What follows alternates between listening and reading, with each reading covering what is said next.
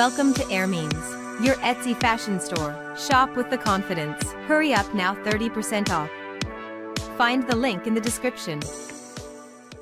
Zoe Kravitz has revealed the reasoning behind changing the title of her directorial debut from Pussy Island to Blink Twice, ahead of its theatrical release on August 23.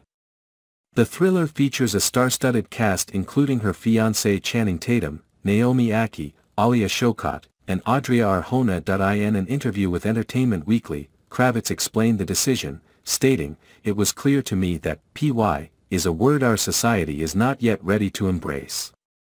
She elaborated on the challenges faced during the title change process, citing resistance from entities like the MPAA, which expressed reluctance to display the original title on promotional materials such as posters, billboards, and kiosks. Additionally, movie theaters were hesitant to feature the title on tickets, the director has addressed the decision to change the title of her directorial debut noting feedback from women who expressed discomfort with the original title. In an interview with Entertainment Weekly, Kravitz revealed that women were deterred from the film because of the previous title.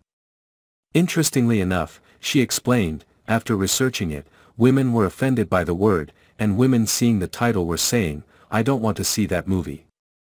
Kravitz acknowledged her initial intention to reclaim the word PY, but recognized that societal readiness for such language is still evolving.